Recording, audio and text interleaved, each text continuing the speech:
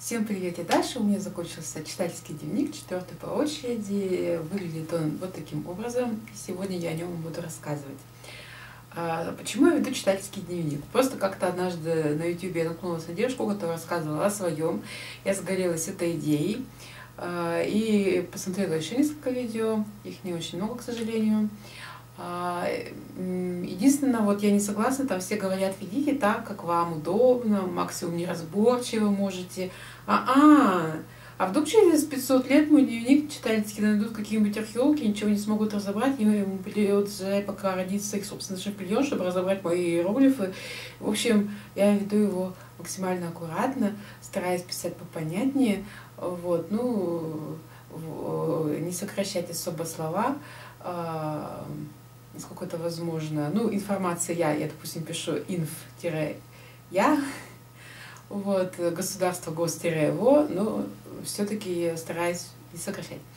А, это помогает более четко мне структурировать свои мысли, развивать художественный вкус, потому что я стараюсь его украшать посимпатичнее. У меня не особо получается, кстати. А, но все равно это мне помогает больше развивать э, свои свою возможность выражать мысли и способность, прошу прощения. К тому же интересные факты, сведения из книг забываются. Вот. А отмечать самой книги, э, допустим, клейкими закладками одноразовыми, я считаю менее целесообразным, чем хранить все заинтересовавшие, всю заинтересовавшую меня информацию в одном месте в читательских дневниках. К тому же мне это помогает, э, когда я снимаю для вас видео о книгах. Я что-то могу подзабыть, а так я по мере чтения что-то себе пишу, э, поэтому это никуда не пропадает из моей головы, а остается на страницах моего читательского дневника. Единственный минус своих видений, мне очень нравится сам процесс, единственный минус это то, что они занимают то место, которое могли бы занять ваши книжки на полках. Итак, я очень люблю этот дневник за то, во-первых, за узор. Он такой а, а, а-ля славянская культура на резиночке. Э, здесь две закладки, вот они выглядывают. И, допустим, у меня всегда э, в читательском дневнике лежит на том месте, где я закончила писать в последний раз, ручка. И сам дневник при этом вот в закрытом состоянии, в полузакрытом получается потому что ручка сдерживает место, чтобы я в любой момент могла просто это взять, одним ловким движением руки раскрыть и продолжить писать там, где я остановилась, собственно. Это очень удобно, поэтому для этого я закладку не использую. Но иногда я читаю кулинарные книги, и не обязательно с рецептами, а просто что-то там главная героиня любит, например, готовить. И я выписываю рецепт, чтобы его потом не потерять и долго не искать. Я вот закладочку в это место очень удобненько. А, плюс он мне безумно нравится за кармашек в конце. Э, здесь я храню, пока веду читательский дневник, а, листочки для указания на чтение. Я их потом вам покажу уже вклеенными. А, те стикеры, которые чаще всего использую для украшения дневника. Вот. И что-то такое, какие-то черновички. Все это потом приезжает в следующий читательский дневник, кроме черновика, по которому я делала какую-то запись. Например, в этом читательском дневнике у меня есть отзыв на книгу Старка Наталья Гончарова. Я там пыталась разобраться в родственных связях, потому что сам автор не очень понятно все это расписал, для чего рисовала схемы. И э, черновик схемы, я его потом на белый переписала в читательский дневник. Черновик схемы остался здесь в кармашке. Это единственное, что осталось в нем, когда я переехала в следующую уже тетрадь. Мне безумно нравится, что здесь странички в точку. А, это удобнее, чем в линейку, и безусловно, абсолютно, и даже чуть более удобно, чем в клеточку, хотя клетку тоже удобно. И э, так как бывает, что я э, черчу таблички или какие-то схемы, то это очень комфортно вести читательский дневник, когда он в точку. Смотрите, такие слегка желтоватым немножко оттенком, а, чуть-чуть в тон отдает. В общем, очень я его любила, этот читательский дневник. Э, вне зависимости от того, понравилась мне книга или нет, я вклеиваю для обозначения дат и оценки книги. Э, такой вот листочек крафтового нейтрального оттенка в уголочек э, странички. В верхней его части я указываю начало чтения, в нижней э, завершение, посередине крупным, крупным шрифтом оценку по пятибалльной шкале. Если книга перечитывалась, в уголочке этого листочка я указываю такой кругляшочек со стрелочкой, э, что-то с моего собственного знака бесконечности. Если я помню, в который раз я перечитывала эту книгу, то внутри кружочка указываю число. Э, и, правда, когда уже стала заканчивать этот читательский дневник, сделала случайное открытие. Дело в том, что как раз в этот период э, пришла посылка, там внутри был предмет, который собиралась дарить. Я его тут же, не отходя от кассы, стала упаковывать. Я очень люблю упаковочную бумагу, крафтовую такую. А, и я такая посмотрела, думаю, а зачем я заказываю специально отрывочные такие листочки крафтового оттенка для читательских дневников специально с Алиэкспресс, если вот я можно упак... Э, э, упаковочная бумага моя почти оттенком совпадает.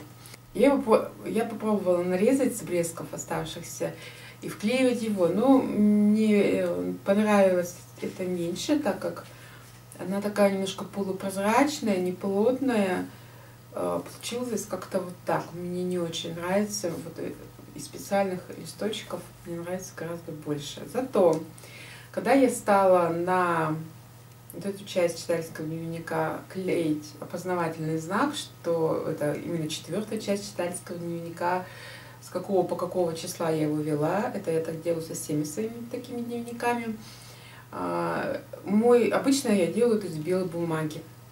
Но тут мой взгляд упал на тот самый огрызок э, оберточной бумаги. Я такая, ага, а попробую-ка, приклеила. Мне так понравилось, потому что это не бросается в глаза. Э, то есть я, которая знает, что эта наклейка тут есть, я разберусь, а человек, который просто, ну, так как кинет взором мои книжные полки, он эту наклеечку просто не увидит, он увидит какую-то тетрадь. Э, и э, именно за счет того, что это немножко такая прозрачненькая в какой-то степени бумага, это вот делает ее еще более невидимой глазу человека, который не знает, что эта наклейка здесь есть. Очень здорово получилось, мне понравилось, запомню этот прием. А может потому, что, знаете, она немножко перекликается с оттенками, которые есть на обложке этой тетради.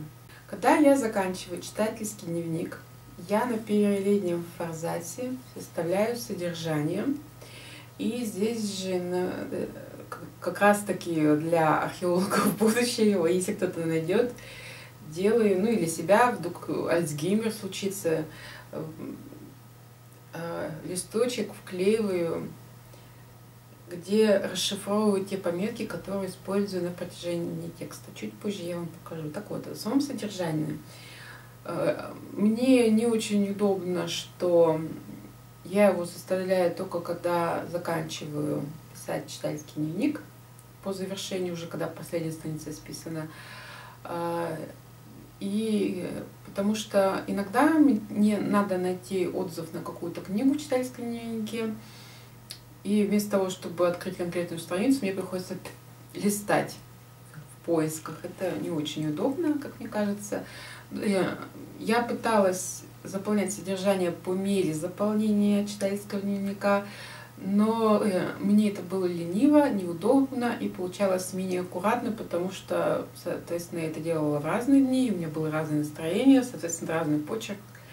Эм, как известно, когда у человека плохое настроение, почерк идет немножко вниз, а когда хорошее, чуть-чуть вверх, и вот так что кто в лес, то по дрова, и получается не очень аккуратно в итоге. Как составляется содержание? Порядковый номер, название книги, имя автора, причем инициалы я не сокращаю, полностью пишу не А и С галлон, а А на Сьер галлон, э, не, Кёрст, не К Гир, а Кёрстенгир и так далее. Э, ну и, разумеется, после названия страница, на которой размещается отзыв. Э, когда я только начала вести читательские дневники, я помнила, какая книга, в которой тетради. Но вот сейчас я веду уже пятую, и как бы мой мозг уже не умещает всю эту информацию, поэтому я, я очень ответственно отношусь к Лафлибу, социальной сеть книголюбов. А, и там есть возможность, когда добавляешь книгу в прочитанное, э, оставлять личную заметку, которую видишь только ты. И я там пишу, там, ЧД номер 4, страница такая-то соответствующей книги. Поэтому, когда мне надо что-то подсмотреть, помнить какую-то информацию, которую я ранее писала в своих дневниках, я открываю во флибе, смотрю какая-то часть, какая-то страница и лезу любопытство. Это вот на словах звучит очень длинно, а на самом деле происходит моментально, все это за пару секунд делается. Теперь оформление. Обычные книги я не отмечаю никак. А, то есть просто пишу название красным шрифтом, чуть ниже, чуть низшим шрифтом, черной ручкой уже автора и э, все на этом. Ну, если я от книги в полнейшем восторге, то я применяю декоративный скотч к названию и наклеиваю, поверх него уже пишу название книги, а также отмечаю как- как-то листочек, на котором пишу дату чтения. Э, я могу фоном наклеить декоративный скотч и поверх наклеить листочек, э, либо я могу украсить его наклейками. Как вот в этом случае Владислава Крапивина китами, потому что Крапивин любил все морское, я сочла это соответствующим. Теперь о пометках, которые я обещала вам продемонстрировать. Так, э, значком похожим на значок YouTube. И это не случайно, вы сейчас поймете почему. То есть э, это красная ручка, рисую треугольничек, а потом ввожу его таким овалом. Я обозначаю информацию, которую я совершенно точно вам озвучу. Э, это такая центральная, важная информация, ну, скажем, о сюжете книги или что-то, что я подметила. Э, потом таким вот, знаете, как в комиксах обозначают такое облачко с многоточием, просто какая-то моя мысль, которую я не факт, что вам озвучу, либо напишу в своем отзыве на рекоменд или на лахлибе.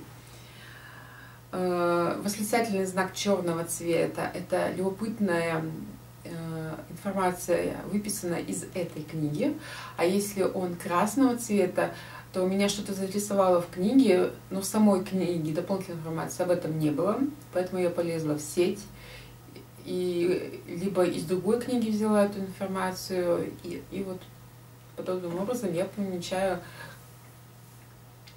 подобную информацию я помечаю уже красным восклицательным знаком. Э, изображение вилочки с ложечкой. Да, это вилочка и ложечка, не прикапывайтесь. Обозначение э, рецепта. Э, перо, да, это перо. Я знаю, что не похоже. Название книги, другой книги, в этой книге. Смайлик шутка. Другой смайлик вот такой. Это персонаж в книге.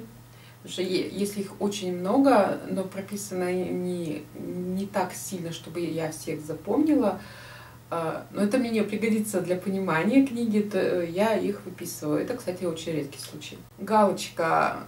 Когда я выпендриваюсь, строю себя редактор и говорю, вот здесь вот так вот не надо писать, а надо писать вот так. Или я вот эту информацию знаю, это ошибочно, вот здесь автор написал, он заблудился в потемках, и, а правильно вот так вот.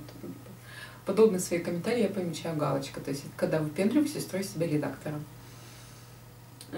Красные кавычки — это цитата, а если они не выделены какой-либо цветной ручкой, а написано просто синий, значит, я просто комментирую какие-то слова автора. Вот. Ну и изображение домика это какая-либо географическая локация, которая меня заинтересовала. Допустим, я пишу про того, как был основан город Нотр-Дам, или как был основан город Нью-Йорк, вот что голландцы его построили, то я вот э, такую информацию, или вот я рассказывала вам про книгу Сергея Никитина, по-моему, что-то там про улицы, происхождение. Вот я там э, интересную информацию помечала именно вот э, значком домика. Вот, ну и только в этой книге, я когда читала Кунина, я просто как попала в разноброс, э, не структурированно проставила, выписывала свое мнение, оно было такое очень хаотичное, безумное. И чтобы вам потом прилично все это рассказать. Ну, кстати, я обошла до читательского дневника, сама по себе все рассказала, но все равно я, я боялась, что я заблужусь в трех соснах, поэтому один вот из, из всех четырех читательских дневников я единственный раз применила эту пометку в тексте. То есть я э, составила план отзыва, к которому так вот и не прибегла в конце. Вот. И уже оранжевым маркером по тексту читательского дневника прошлась, и, соответственно, в пункты я их поставила на страницах отзыва. Вообще, раньше все эти пометки ставила по мере заполнения читательского дневника. То есть я что-то выписала и тут же сделала пометку.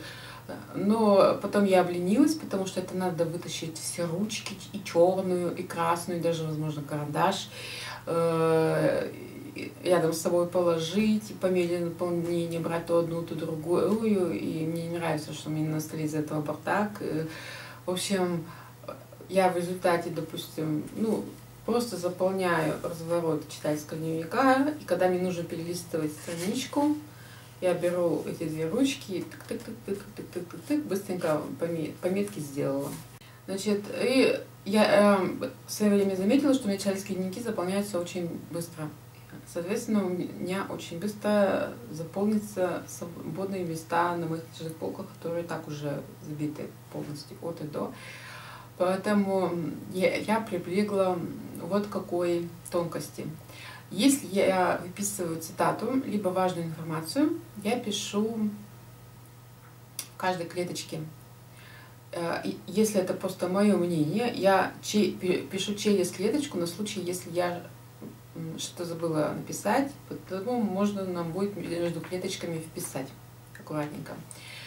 И всю информацию я пишу не прописью, а печатными буквами. Так эм, помещается больше текста в меньшее пространство и чуть-чуть, но место экономится, как говорится, копейка рубль бережет.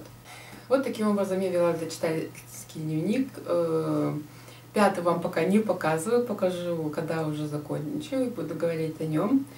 А, там мой стиль потерпел некоторые изменения, а сейчас, когда закончу видео, я радостно встану и поставлю читательский дневник на свое место. Оно, кстати, почти перед вами, только немножко скрыто. Вот полка надо мной, на ней стоит Акунин. А вот выше нее, там тоже стоит Акунин, но есть немножечко свободного места. И вот именно там стоят рядочек все мои читательские дневники. Рекомендую вам, кстати, если вы захотите, захотите тоже вести, очень удобная штука, рекомендую. И полезная. Старайтесь, чтобы э, тетради у вас были ну, хотя бы приблизительно одинакового роста. Тогда они будут более аккуратно смотреться на полках и более красиво учить. Вот. На сегодня все. Всем пока и до скорых книг.